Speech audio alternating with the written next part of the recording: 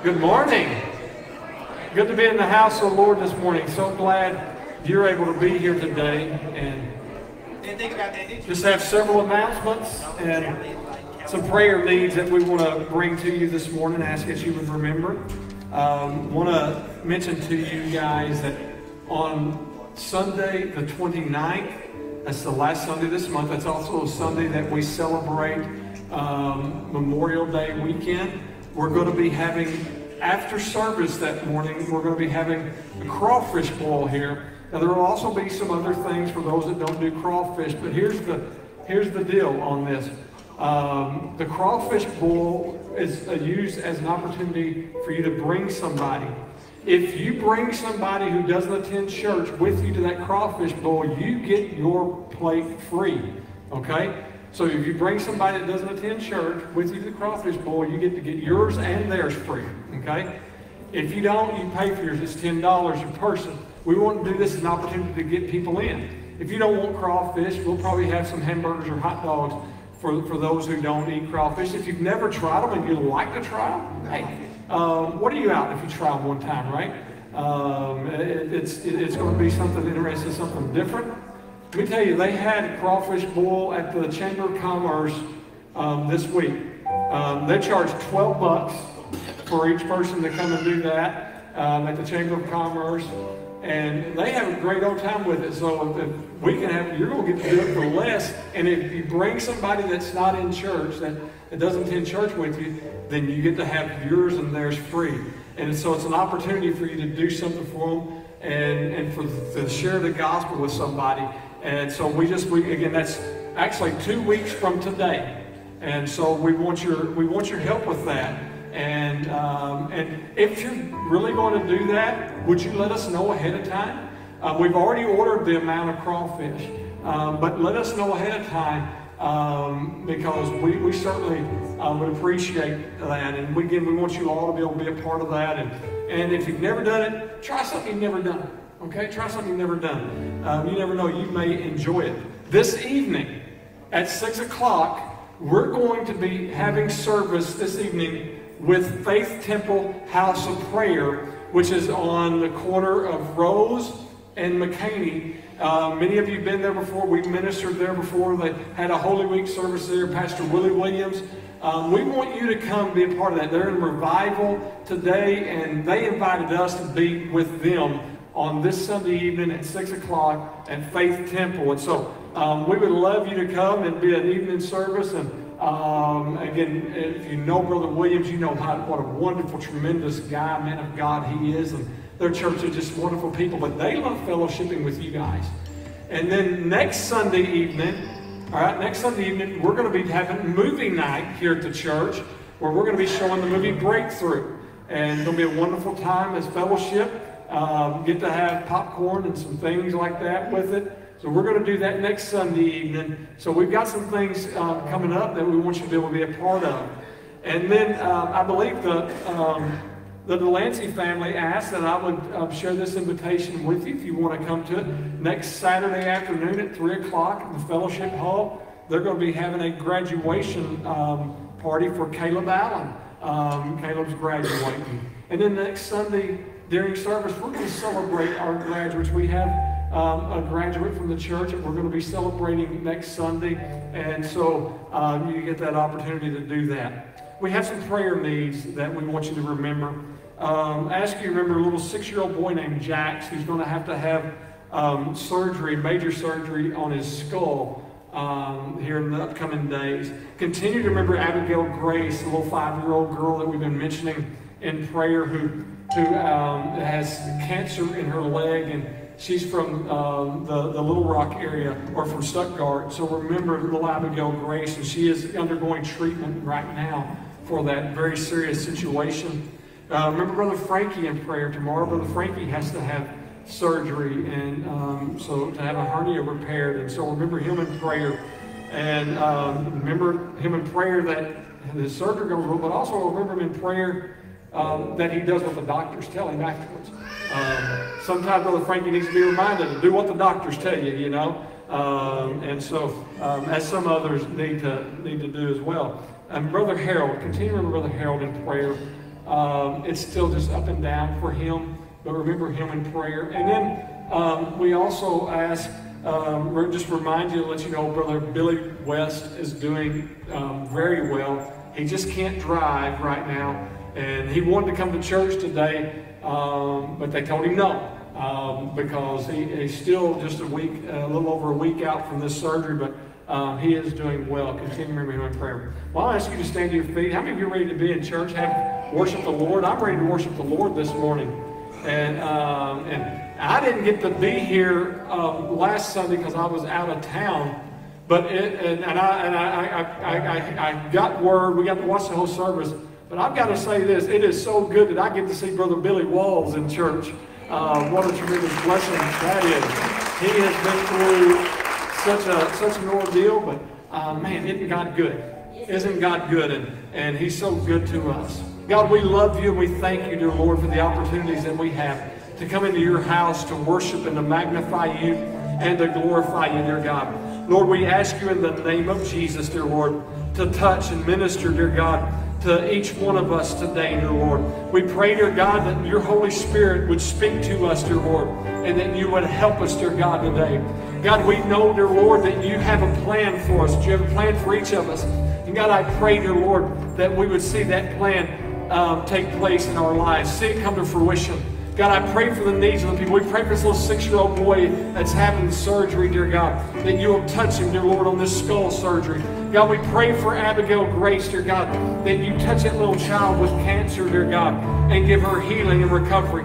God, we pray that you would touch, dear God, Brother Frankie in his surgery, dear God. Lord, that everything would go well and, and he would recover quickly. Lord, for Brother Harold, dear God, we just still pray that you touch his body and that you minister to him, dear God. Lord, we pray, dear God, that you touch, Lord, and continue to minister to Brother, Brother Billy West, dear God. And we thank you, dear God, for your hand of being on us, dear God. And we thank you, dear God, that you hear our prayers, dear God, and that we call unto you, dear God, and you will answer us.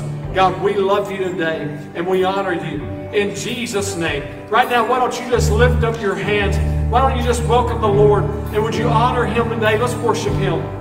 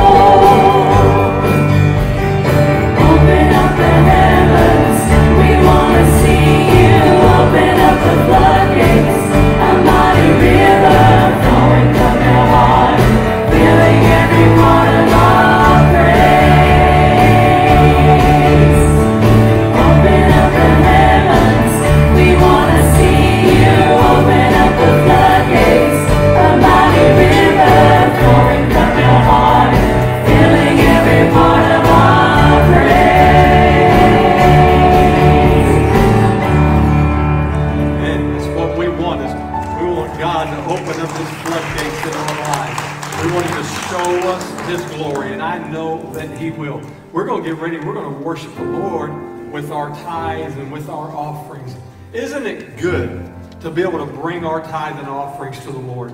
It's a, it is a tremendous blessing to be able to do this. So this morning, I want you just to think about how much God has blessed you as you get a chance to bless Him with your giving this morning. Are you ready to bless the Lord? Are you ready to bless the Lord? God, we thank you, Lord, for the opportunity to bring our tithes to you and our offerings, dear God. Lord, as we bring these to you today, dear God, we ask, dear Lord, that you would bless it, dear God. Bless the givers, dear Lord. God, we know, dear Lord, that you're going to bless them today. In Jesus' name. Worship the Lord with your gifts right now.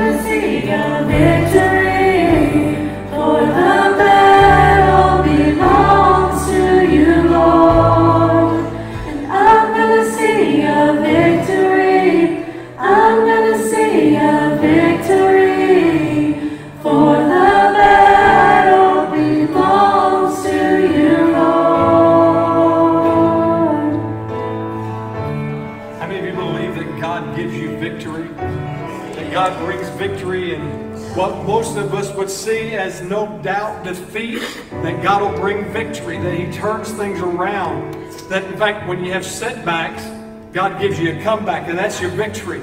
That's your victory that you're going to have. And I thank God for that. Just lift up your hands and won't you give Him thanks for victories in your life? Victories that you've had, but I want you to go ahead and thank Him for victories that you've not yet had. For the victory that's coming. For the victory that's going to take place in your situation and your circumstances. Because I promise you this if you'll serve God, if you'll honor Him, if you'll live for Him, your victory's on the way. It may be difficult, it may be challenging now, but God has your victory, and you're going to see it take place in your life. God, we love you. We thank you, dear God, for the victories, dear God, not the ones that we've already had, but the ones that are on the way. We thank you for our victory, dear God, for the circumstance that we're facing today, that that victory is on the way. In Jesus' name. Amen. Amen. You can be seated. Thank you guys so much. Thank you guys so much. They do such a tremendous job. And, you know, we, we got to be in service with you last week, but we had to do it in a Wendy's in an airport in Houston, Texas. But, but it's nothing like being here with you. All right? I love Facebook Live. I thank God that we have Facebook Live available, but it's nothing like being here with you in person. And we're so glad that we can be here together with this church family that we so dearly love. You know, I saw something this morning that a month ago we weren't sure that we would see. And when I saw it, I, had, I wanted to make sure that it would get done right. I saw Michael Allen driving in the church. He hadn't driven since December of, of last year because of his surgery that he had. And as he was driving up to the parking spot, I said, Dear God, please let him be able to use the brakes. and he can use the brakes. So that's, uh, that, that's another comeback right there. That's another comeback. Now he's wanting his keys back, but I'm just saying about the comeback. I'm not getting into the keys back issue. That's between him and, and his family. But he could use the brake today. And I saw his grandma was in the, in the car with him, and and she had her eyes closed and gripped, and she was praying, please, God, let him be able to use that brake. And I was thanking God, too, because he was coming toward the wall of the church, and he did not hit it. Good job, Mike. Good job. He'll get those keys back eventually. Today, as we continue talking about our setbacks or our comebacks, and I, I really want to talk about our setbacks as much as our comebacks, but we have to see the setback. I'm going to talk about this morning when your setback feels like a failure. And that's really and truthfully where all of us get when we have a setback at some point in time. Our setbacks will sometimes make us feel like a failure. I want to read you scripture. This is one of those encouraging scriptures that I read, and most of you know it by heart. I'm reading it from a different translation, so don't, don't freak out because I'm not reading this from the King James. It just it, it says something a little different, or it says it a different way. And it, it reads in a different way It says, The Lord is my shepherd. I have all that I need. He lets me rest in green meadows. He leads me beside peaceful streams. He renews my strength. He guides me along right paths, bringing honor to his name. Even when I walk through the darkest valley, I will not be afraid. For you're close beside me. Your rod and your staff protect and comfort me. You prepare a feast for me in the presence of my enemies. You honor me by anointing my head with oil. My cup overflows with blessings. But I want you to take notice of this next part here, where it says, Surely goodness and unfailing love pursue me all the days of my life. Now, I want you to understand where it says that, that lets us know that we'll have a comeback. That lets us know no matter what our circumstances, if we serve God, Sister Wanda, we're going to have a comeback. And he says, and I will live in the house of the Lord forever. God, I ask that you add your blessing to this word today as we come to you, as you speak to us, dear God, that you would minister to us. Thank you, Lord. And we ask for your anointing. Sometimes the setbacks that we have make us feel like a failure.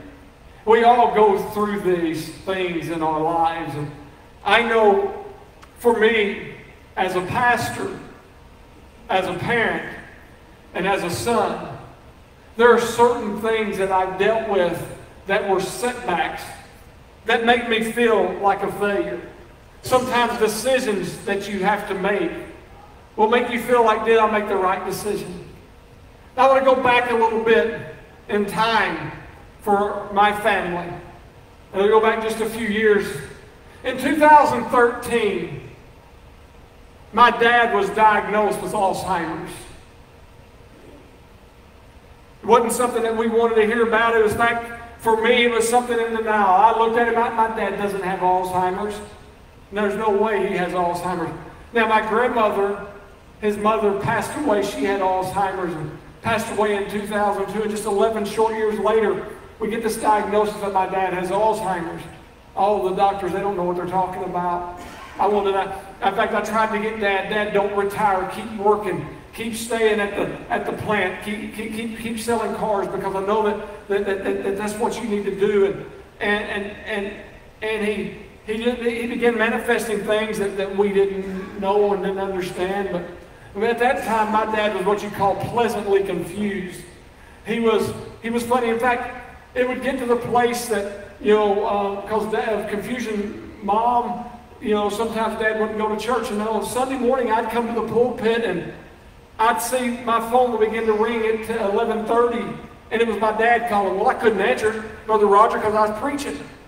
I couldn't answer the phone, so I'd hit, I'd hit that, I'd hit the decline on the phone call, declining my dad's call. Now I get it. My kids decline my calls all the time.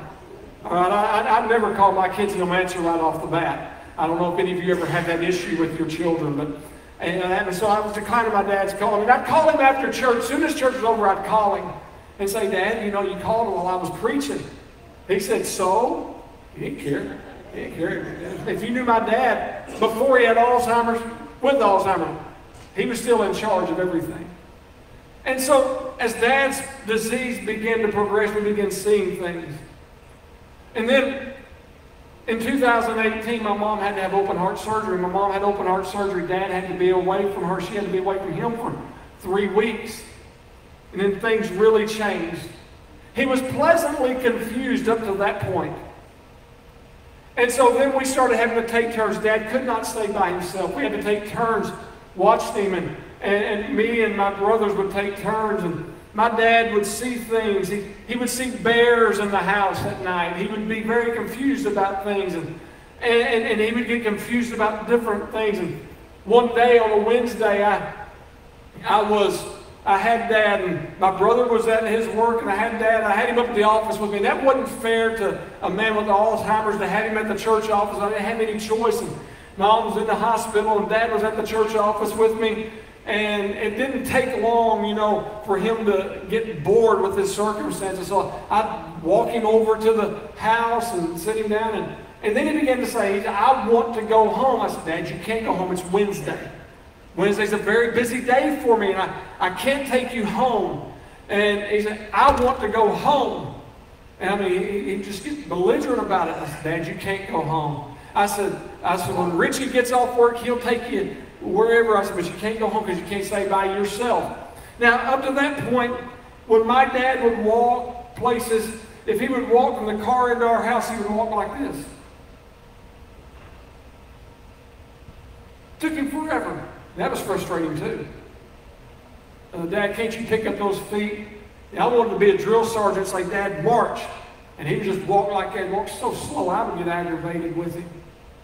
And so I thought, well, surely, you know, I can leave him for a minute because, I mean, he's slow. He can't even get to the door in five minutes. So I came over to the office just to look at something for five minutes. And, um, and, and I had to get something. And I went back over to the house and went in the living room, and he's gone. So I go and so I check the rooms in the house. I go check everything. I go outside and I look, and he's not walking like this. My dad is scooting down Little Road. I mean, he is walking just as fast as he could down Little Road. He's heading toward his house. Now, my dad lives way, or my parents live way out on Highway 312 between Dell and Burnett, and he's walking, he's heading toward that overpass. And, and so I, I, take off, and, and I'm running down Little Road, and I catch up to my dad, and I run up to him, I said, Dad, what are you doing? He looked at me, he said, I'm going home. And I said, You can't go home. And I started grabbing him. He reared his hand back at me like he was going to punch me. I said, Whoa. First of all, even with Alzheimer's, my dad was still stronger than me. And Bubba, I didn't want to get punched by him because I'd have went down like a like a like a bag of potatoes. But um, I said, Dad, I'll take you home. I'll take you home. And I said, he said, Do you promise? I said, Yes, I'll take you home. And then um, I'm walking back to the, as we were walking back to the house, my brother pulled up and I said, Thank God. I said, He's yours. I've had him all day. And so my brother takes him. I said, You're to have to take him home. He's not going to go to your house. He said, I know. So he carries him home. A few months later, we had to put dad in a nursing home. And then I, I look back at that, and some of that's funny. But after putting, after seeing what my dad went through and in his mind, the things that he worried about in himself, I look back and I, there's so many things in those setbacks that we had, and I said, boy, I feel like I failed my dad. And I felt like a failure so many times. What could I have done to, to, to keep things like that from? What could I have done to make him feel more comfortable? What could I have done um, to, to, to, to help him and my mom out? And so many times I felt like a failure. And we do that in different things. There was a setback that I really felt like a failure because you know, my dad, I had failed him. And even at times where my dad had to go into, in, into special care, that, that, that I said, what could we have done differently? And you felt like a failure. And then everybody has different circumstances, different things that they're facing. That when it doesn't go the way that you planned, you feel like you've failed and that you're a failure. And that's what I want to share with you this morning. You know, there's some things that will help you through this that I believe I have for you this morning that can help you not to see yourself as a failure. And these are the things that I want to give you this morning. One is this God is in control no matter how things appear.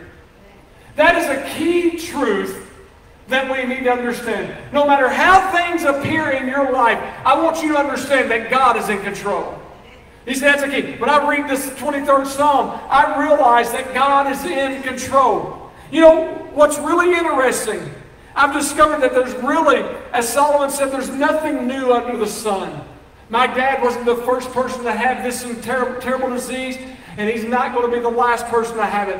Your circumstance that you're dealing with, even though it's probably different from brothers, but you're not the first person to go through a wayward child or a difficult circumstance with your finances or, or surgery or something like that, or, or even a mistake that, that you've made at your job, or even a, even a moral failure. You're not the first person to do that. There's nothing new under the sun, and we need to realize that. Any place that you've been, any emotion you've ever had, any thought you've ever had, somebody's been there before. Somebody's had that before. I discovered I wasn't the only person to pray, God, I don't understand what's going on with these circumstances. When I didn't understand what was going on with my dad, there were many times I didn't know what to pray. I didn't know how to pray. And I'm not the only person to do that. There were times that, that, that, that, that I've had things that I prayed that God, man, I, I wish you would take me out of this because I can't make these decisions anymore. And we even find Old Testament evidence of that. There's a guy in the Old Testament who would pray those way, those wayward prayers. And, and he's a guy that you wouldn't think he would pray things like that. He wouldn't pray these prayers that, that, that are depressing. You know, that, did you know not every prayer in the Bible is uplifting? There's some prayers in the Bible that are depressing. Because you know what? Every person that prayed in the Bible was human. Have you ever prayed a prayer that the next day you thought, I shouldn't have prayed that? There's a guy in the Bible we're going to talk about this morning who did. His name's Elijah. You know, the psalmist said this The Lord is my light and my salvation. Whom shall I fear? The Lord is the stronghold of my life. Of whom shall I be afraid? I'll ask this question Have any of you ever felt let down by God? I have. You know, sometimes we're afraid to face our feelings as if God is a God that can't take our feelings. That, that when things aren't going their way and, and, and, and we feel let down by God, that we're afraid to say it. I know Michael Allen going through this recovery a lot longer. There have been times he's felt let down by God because we thought he'd be better in a month. And it hadn't worked out that way. But guess what? We can have those feelings. You have a God who's big enough to take those feelings. I'm glad we serve the one Jehovah Jireh who can take who can take our depressing prayers and he can take those things. Most of us know the story of Elijah. You know, we, we like the story of Elijah. You know, the favorite part of the story of Elijah to most of us is, is, is, is that Elijah walked in the power of God and he called down the power of God and overcame 850 false prophets. Boy, isn't that exciting? That's a great story, right? I mean, he saw great things happen. I mean, I mean, Elijah prays a beautiful 63 word prayer and fire falls down from heaven. And then they slay 850 false prophets. What great things. But it's after that Mount Carmel meltdown, this is what happened. After the fires called down from heaven, this is what happened with Elijah. In 1 Kings chapter 19, it says, When Ahab got home, he told Jezebel everything Elijah had done, including the way he had killed all the prophets. So Jezebel sent this message to Elijah. Now, Elijah's just killed all these prophets that Jezebel liked. May the God strike me and even kill me if by this time tomorrow I have not killed you just as you killed them. You know, every one of us have a Jezebel in our life that wants to take our victory and rob us from it. Elijah had just called down fire from heaven. He had just had this great victory had just slayed 850 false prophets, and then Elijah is inundated that very day with fear for his own life. I mean, Elijah was afraid for his life just hours after he had spoke words to God, and God showed up. And Elijah walks in fear. Just because, hear me, saints, just because you serve God doesn't mean you're going to have an absence of fear in every circumstance. There's going to be some things that just overwhelm you. Sometimes you get a miracle and the next day you have a disaster. We go on in 1 Kings 19, he says this Elijah was afraid and fled for his life. He went to Beersheba, a town in Judah, and he left his servant there. Then he went on alone into the wilderness traveling all day, he sat under a solitary broom tree and prayed that he may die. He said, I've had enough, Lord. He said, Take my life, for I'm no better than my ancestors who have already died. Isn't this amazing? I mean, it's amazing. Within one day, he saw God's miraculous thing, and now he's so depressed, so discouraged, so confused, so afraid that he's saying, God, just take my life. I'm done. You see, being a Christian doesn't keep you from having feelings. Being a Christian doesn't keep you from always, um, for, or doesn't keep you from ever being depressed or anxious. I, I think we've, we've, we've made some terrible mistakes in how we present this. We tell people, you know what? Because you're saved, you can never go through depression. We'll find that in the Word of God. Because you're saved, you'll never have to have to have to have to take care of your own mental health. You can't find that in the Word of God. Elijah had to do it. Elijah loved God. Elijah served God. And he was having issues right here that brought fear in his life. It's interesting. He left his servant in Beersheba and he went on alone. You know what happens is sometimes when we're going through things like this, we say, you know what, I'd rather be alone, and that's not good for us.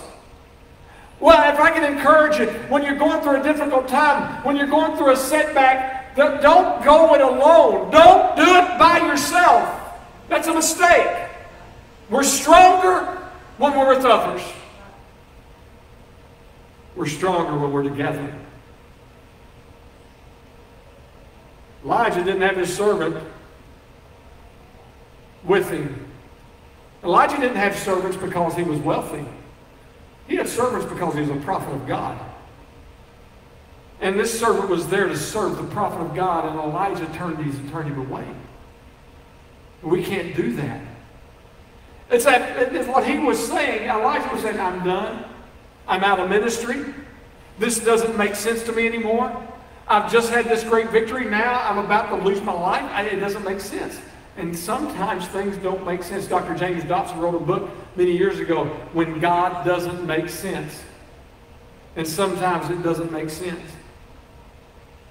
This is when you have to understand this. When you're going through that time where it seems like it has all broken loose on you, and it's a setback of incredible disorder in your life, this is when you have to understand, my friends, that God is in control no matter how things appear. He's in control no matter how things appear. But the second thing that we find is this God is with you even when you can't see his plan. You see, God's not only in control, but God is with us even when we can't see it. And that's a great thing for us to understand. Elijah in 1 Kings 19, he goes on and says this Then he lay down and slept under the broom tree. But as he was sleeping, an angel touched him and told him, Get up and eat. He looked around, and there beside his head was some bread baked on hot stones and a jar of water. So he ate, drank, and lay down. To me, this is pretty awesome. I want to ask you this question. If God intended for Elijah to die, why give him the last meal? Why cook him a meal? You see, what God was doing is He was introducing Himself to him and said, Look, I'm the same God. I know there was an angel here. But when you see angels interact with people in circumstances like this, it's essentially the very presence of God that's interacting with them. And that's what was happening to Elijah here. Elijah wasn't interacting with an angel. God had came and prepared a meal for Elijah. Remember what the 23rd Psalm says? That he sets a meal before us. That he'll feed us in the presence of our enemies. I mean, that's pretty amazing to me. I mean, Elijah had seen God do the spectacular, the miraculous. Now he's through with ministry. And so, what does God do for him? Here's what God does for him God doesn't come to him and do this. This, this is the human nature to come up to somebody. Oh, I'm going, Michael Allen, what's wrong? What's wrong with you? Everyone's like, well, what, what's wrong with you? Why are you feeling this way about yourself? You're a failure. That's not what God does. God doesn't do that. God didn't say, What's wrong with you, Elijah? Why are you here? You're a failure, Elijah. What kind of prophet are you? God makes him dinner. Some of you need to know today that God is there to make you your dinner. Folks, I'm not talking about going to the Grecian. I'm not talking about going to the fish house. I'm talking about you being able to eat in the presence of the Lord. In the most difficult times of your life, God will prepare your food. What does that mean? God knows what we need when we need it. That to me is so awesome. God doesn't, you know, when I look here and I see that God makes this meal for Elijah, you know what I see? I see God making a home cooked meal for Elijah with no judgment. Why do you want to die, Elijah? Why do you feel like a failure, Elijah? No. Just here. I love you. I want to fix you. You know, what is the old saying? What's the best way to a man's heart? Through his stomach, right? I mean, people can tell you they love you all day long, but you know they love you when they'll cook for you, right? Come on. How many you love it when somebody cooks for you? When they cook your favorite meal? When they cook what you need? You know what Elijah did? He ate, he drank, and he went out and took another nap. You see, how does God respond when we're giving up? It says, Then the angel of the Lord came again, touched him, and said, Get up and eat some more. Or the journey ahead will be too much for you. The angel of the Lord knew what Elijah was going to do. The angel of the Lord knew the journey that Elijah was going on. And he says, You haven't ate enough. You need to eat some more. You need to, you need to have some more. He said, When we've given up on ourselves, instead of God giving us judgment, God will come and give you a touch. He'll give you a meal, and He'll give you some rest.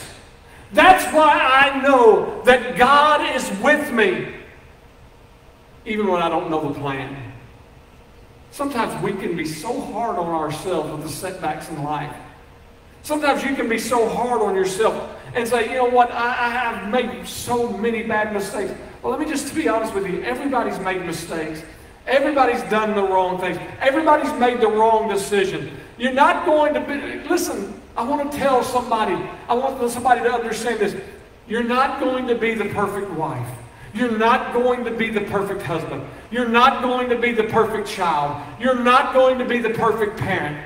You're not going to be the perfect sibling. None of us are going to be. You're going to let some people down. You're going to feel let down yourself. You're going to have setback. But I've come to tell you this morning that you don't have to feel like you're a failure just because you're going through this setback today. Don't walk in that. Don't believe that. Know that God understands what you're going through. He knows what you're dealing with, and He can help you through it. And even though you're hard on yourself, God has not come to judge you. God has come to love you. Somebody ought to say amen.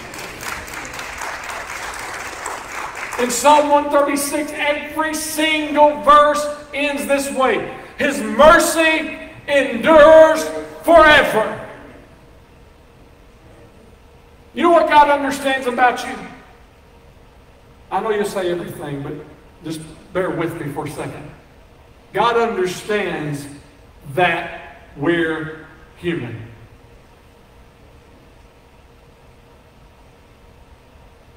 God understands that you're human. Just do this real quick. Just entertain me, okay? Tap yourself on the chest. Go ahead. It ain't gonna hurt you. If it hurts you, I'm sorry. Now say, I'm human. Now look at your neighbor and say, You're just human. Look at your neighbor and say, I know you're not perfect. I'm going to ask you to declare it to yourself. You're declaring it to that person next to you. Tell your spouse, I know you're not perfect. Tell your child, I know you're not perfect. Tell your friend, I know you're not perfect because we're all human. It's not so bad. It's not so bad being human. Don't be so hard on yourself. You know what grace is the concept for us, not our animals. God made grace for people. He made grace for you. It's okay to be human. The third thing, when you think it's all over, With God, it's just beginning. Sometimes we think it's over, but with God, it's just beginning. Look at verse 9 in 1 Kings 19. He says, But the Lord said to him, What are you doing here, Elijah? I want to take you to another mountain. Now, you know, Elijah was, had been at Mount Carmel. But I'm going to take you to another mountain. In Luke's gospel, the old Dr. Luke tells us about the experience that he had. And in Luke chapter 9, verse 28 to 31, it says, About eight days later, Jesus took Peter, John, and James up on the mountain to pray. And as he was praying, the appearance of his face was transformed, transfigured, and his clothes became dazzling white. Suddenly, two men, Moses and who? Elijah, appeared and began talking with him or talking with Jesus. To me, the reason that that's amazing is after the angel had fed Elijah,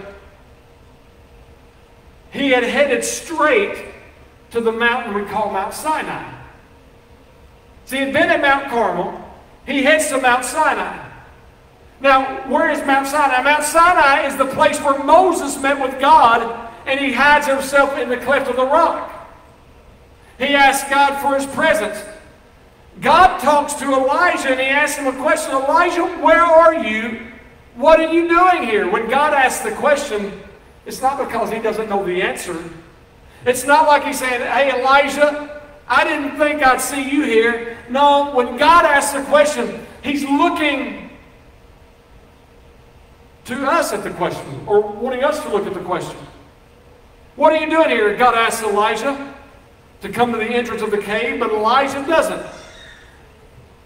God wants Elijah to come and get out of the cave, but Elijah doesn't want to do that. Elijah's now in the cave, and then what happened while Elijah's in the cave? You know the story. Elijah's in the cave, and you have a windstorm, and it tore the rocks loose. What do we find out about the windstorm? God wasn't in the windstorm. Elijah was in the cave and there was an earthquake and it literally shook under his feet. But what do we find out? God wasn't in the earthquake, was he? Elijah was in the cave and then there was a sound. Some translations call it what? A still, small voice. Some translations call it a gentle whisper. You see, here's what I found out is Sometimes we have windstorms in our life and God's not in that. Sometimes we have earthquakes in our lives and God's not in it. But God's always going to be around that small, still, gentle voice speaking in our ears. Because it lets me know this. It reminds me this that when I think it's all over, God is still with me. It wasn't until God heard the voice, or till Elijah heard the voice of God, that he stepped out of the cave to see what God told Elijah. You know what God told Elijah? Elijah's like in this cave by himself. I'm the only prophet. I'm the only one. They want to kill me. They want to destroy me. I'm the only prophet. I, I, you know, I've made a mistake killing these 850 prophets of Baal and prophets of the other gods and Asherah. I, have made the mistake. But then God speaks to me and he says, hey, Elijah, I want you to know this. You're not by yourself. What did he tell him? He said, There are 7,000 people who've not bowed the knee. Boy, that's something for you to know that you're not by yourself. You've had setback, but you're not by yourself. But you reckon that some of those 7,000 people have had setbacks in their life too? Those 7,000 people who served God, who honored God, they had setbacks in their life. Elijah wasn't the only one that had setbacks they had had setbacks as well. And so God wanted him to know you're not alone. I've come to tell some of you today you're not by yourself in your circumstances. And no, misery doesn't love company. When we're in misery, our company helps to strengthen us. And I want you to understand this that it's not over, it's just beginning for you. That God has a plan for your life. You know what happened was we don't always know the plan. You don't have to know the plan, but God's in control. And here's what I think is kind of neat. Now I go back to the part where Elijah and Moses meet with Jesus. Now we know the story. Elijah gets taken up in a whirlwind later on. He, he doesn't die physically in the flesh. But it was many hundreds of years later before Elijah finally met the rock. You see, Elijah was where he was on Mount Sinai. Mount Sinai is where, where, uh, where, where God had put Moses in the cleft of the rock. And then Elijah, after he's taken away, he meets the rock. Who's the rock? The rock is Jesus. I mean, we have that old song. Elijah finally comes face to face with the rock. And I want to tell you that some of you are today in your circumstances going to come face to face with the rock. But the old song says, Rock of Ages, cleft for me. Let me hide myself in thee. Let the water and the blood from thy wounded side which flowed be of sin, the double cure. Save from wrath and make me pure. Has any of you met the rock before? And I know this. He goes on in that song. It says, Nothing in my hand I bring. Simply to thy cross I cling. Naked come to thee for dress. Helpless look to thee for grace. Foul I to fountain fly, wash me, Savior, or I die. Can I tell you this this morning? Is that even though you felt like a failure in your setback, I've come to tell you because you've met the rock, you're not a failure. Nobody who's met Jesus Christ is a failure. I've failed plenty of times in my life. I've failed plenty of times since I've been saved. But I'm not a failure. No, I didn't fail my dad. No, I didn't fail my mom. I didn't fail them. It was the circumstances were the circumstances. No, I went through a setback. But I've come to tell you that I know that God's a God of comebacks. You see, I had to go through some times of of, of thinking generational things because my grandma had Alzheimer's, because my dad had Alzheimer's. I started getting paranoid that I'm going to get Alzheimer's because it must be something in my family. And maybe there's something I can do about it, but here's the reality of this. I started this. I'm not going to walk in that setback any longer. And you know what? I can't control what's going to happen in many circumstances in my health. But what I can control is how I live from this day on. And I'm not going to live worried about things that I can't control. I'm going to live a life of a comeback. I'm not going to worry. I'm not going to be in doubt. I'm not going to be in fear because I know that I know the rock who is Jesus Christ, who has saved my soul, who has set me free. I'm going to be all right. And I can promise you this you're going to be all right. You're not a failure. Come to music, please. I just want to tell everybody in this place, I want you to, everybody to be able to testify and understand you're not a failure. We can be hard on ourselves and we can be hard on each other, but you're not a failure. You're not a failure. It may not have happened the way you wanted to. Your circumstances may not be going the direction that you planned, but you're not a failure. You've got the rock. You've got Jesus Christ with you. You don't have to feel these ways anymore. God is with you. God is for you. And he is not against you. I, I want to remind somebody of what the word tells us in Romans chapter 8. He says, if God be for us, who can be against us? I don't think you heard me. If God be for us, who can be against us? I, I, I love what he tells us. What shall separate us from the love of God? And he says, shall tribulation and persecution, shall, shall, shall distress, shall nakedness, shall peril, shall sword. All these things. I mean, you know what he tells us is nay. Everybody say nay. nay. In all these things, we are more than conquerors. You're not a failure. You're not a failure just because you've had setbacks. Doesn't make you a failure. I want to ask you to stand to your feet. I'm going to ask you to shut your eyes. This morning I've come to encourage you. The great prophet of God, the great prophet Elijah, felt himself to be a failure. But God proved himself. Elijah wasn't a failure. He wasn't by himself either. It's a journey. Sure it is. You're going to be on journeys. That's okay. But you're not a failure. I want to ask you this right now. Every head bowed and every eye closed.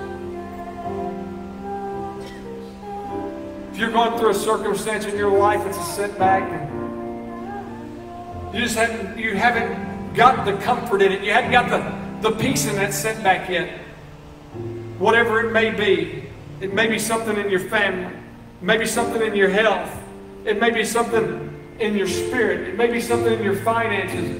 No matter what it may be, you, you got something going on in a setback in your life. And look, I don't know why we get all weird about it when we have setbacks, act like we're the only one. You're not. But you have this, and you, and in this setback, you feel like it, you've messed up and you fell. You feel like you just, that you're not coming out of it. You say, Pastor, that's me. I, I, I, I've got this setback and it just, I've not got peace over it right now. Hold your hand up. Nobody look around. Hold your hand up.